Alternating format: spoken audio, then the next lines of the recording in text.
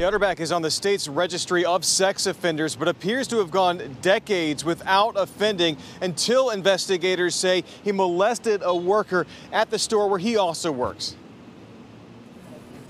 Oh, love it. Your name, sir? John Utterback. Investigators say 62 year old John Utterback, shown here in court, works at this Publix on South Orange Blossom Trail.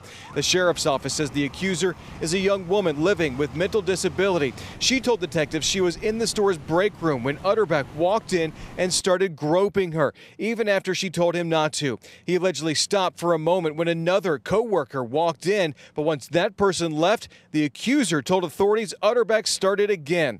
He was arrested and in his mugshot is still wearing his green Publix polo shirt. He does have convictions already for sex assault, sex battery on a person less than 12 years of age, two counts, DUI. State records show Utterback is a registered sex offender because of a sexual battery case from 1999 in Palm Beach County. Utterback lives here now at the Lighthouse Mission Community in Apopka, which is home to several registered sex offenders. The founder of the community told me today he's lived here for a long time and has never been in trouble. No contact with any person with a disability, um, no contact with any children under the age of 18. It Any looks like he has a input? prior similar charge in Right. nature.